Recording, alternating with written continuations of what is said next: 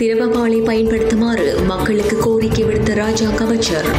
பால்மாவிலை தொடர்பில் மக்களுக்கு இன்ப அதிர்ச்சி அளித்த மில்கோ நிறுவனம் வரலாற்றில் இல்லாத அளவுக்கு மற்றொரு விலையும் அதிகரிப்பு.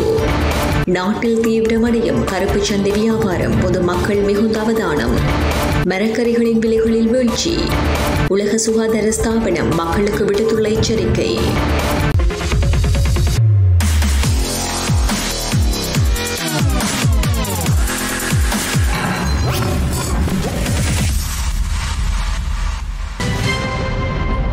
திரவுப்பாலை பயன்படுத்துமாறு மாநில கால்நடை பராமரிப்பு பண்ணை ஊக்குவிப்பு பால் மற்றும் முட்டை தொழில்துறை அமைச்சர் டி. பி. ஹேரத் தெரிவித்துள்ளார். எனவே மக்கள் பவுடர் பாலை பயன்படுத்துவதை நிறுத்திவிட்டு திரவப்பாலை பயன்படுத்த பழக வேண்டும். திரவப்பாலை மாவுக்கு பாலாக மாற்றும்போது பாலில் புரதத்திற்கு பதிலாக மெலன்மைன் சேர்க்கப்படுவதுடன் கொழுப்பிற்கு பதிலாக பாமாயில் சேர்க்கப்பட்டு பல சத்துக்கள் வெளியேறுவதாக அமைச்சர் சுட்டிக்காட்டியுள்ளார். மாவில் சத்துக்களை அகற்றுவதற்கு பதிலாக வேறு ரசாயனங்கள் சேர்க்கப்படுவதாகவும் அவர் கூறியுள்ளார். இவற்றில் பல ரசாயனங்கள் உடலுக்கு தீங்கு விளைவிப்பவை. எனவே பால்மாவை கட்டுப்படுத்துவதற்கு திரவ பாலை பயன்படுத்துமாறு மக்கள் வழிகாட்டுவது தமது அமைச்சின் பொறுப்பாகும் என குறிப்பிட்டுள்ளார். மில்கோ நிறுவனம் தாங்கள் தயாரிப்புகளின் விலையை உயர்த்த மாட்டோம் என்று கூறியுள்ளது. பால்மாவின் விலையை வேறு எந்த நிறுவனமும் உயர்த்துவதை கருத்தில் கொள்ள மாட்டோம் என அந்த நிறுவனம் தெரிவித்துள்ளது. அவர்களது நிறுவனம் பால்மா உற்பத்தியை மீண்டும் தொடங்கியுள்ளது.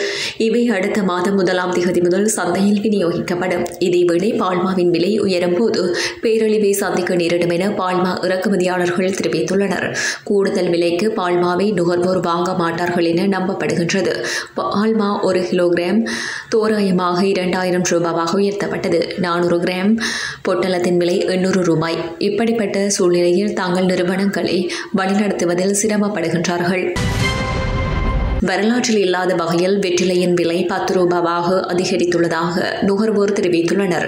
குழாய்பெட்டிய பகமுன நாவல போன்ற பகுதிகளில் வெற்றிலை வியாபாரம் பிரதானமாக இடம்பெற்று வரும் நிலையில் விவசாயிகளிடமிருந்து கொத்தாக ரூபாய் எண்ணூற்றி ஐம்பதிற்கு வெற்றிலையினை பெற்று சில்லறை விலையின் நிலையத்தில் ஒரு விலை ரூபாய் பத்திற்கு விற்பனை செய்யப்பட்டு வருகின்றது. ஆரம்பத்தில் வெற்றிலையின் விலை ரூபாய் இரண்டு தசம் ஐம்பது முதல் ரூபாய் ஐந்து ரூபாய் வரை விற்பனை செய்யப்பட்டு வந்த நிலையில் தற்போது வெற்றிலையின் விலை திடீரென பத்து ரூபாவாக அதிகரிக்கப்பட்டுள்ளது. சந்தையில் பொருட்களின் விலை அதிகரிப்பு மற்றும் உரம் மற்றும் விவசாய ரசாயன தட்டுப்பாடு காரணமாக வெற்றிலை செய்கையின் வளர்ச்சியின்மை எரிபொருளின் விலை அதிகரிப்பு என்பனவே விலை அதிகரிப்பிற்கான பிரதான காரணம் என்றும் வியாபாரிகள் மேலும் தெரிவித்துள்ளனர். நாட்டில் பொருட்களின் விலை சடதியாக அதிகரித்து வரும் நிலையில் மறுபுறம் கருப்பு சந்தை வியாபாரமும் உருவாகி வருவதாக பொதுமக்களுக்கு எச்சரிக்கை விடுக்கப்பட்டுள்ளது. இது தொடர்பில் புலனாய்வு பிரிவினர் அவதானம் செலுத்த வேண்டும் என்று அகில இலங்கை சீற்றொண்டிச்சாலை உரிமையாளர் சங்கத்தின் தலைவர் அசில் சம்பத் கோரிக்கை விடுத்துள்ளார்.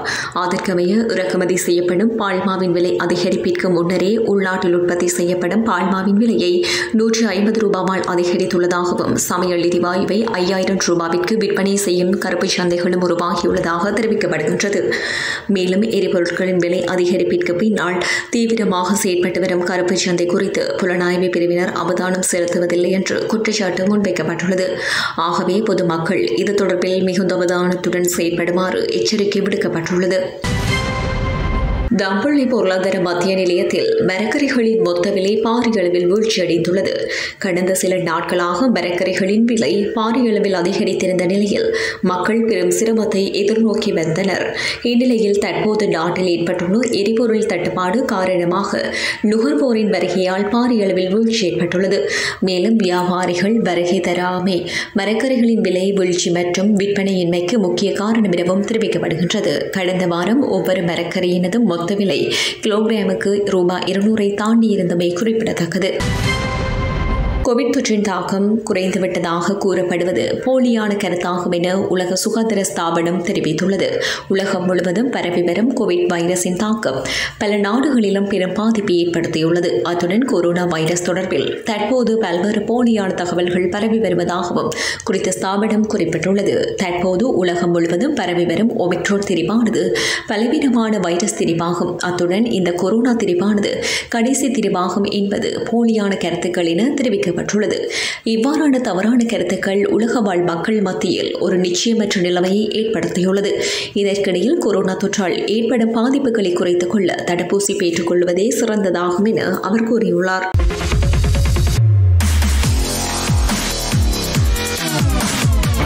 திரவபாலை பயன்படுத்துமாறு மக்களுக்கு கோரிக்கை விடுத்த ராஜாங்க அமைச்சர் பால்மாவிலை தொடர்பில் மக்களுக்கு இன்ப அதிர்ச்சி அளித்த மில்கோ நிறுவனம்.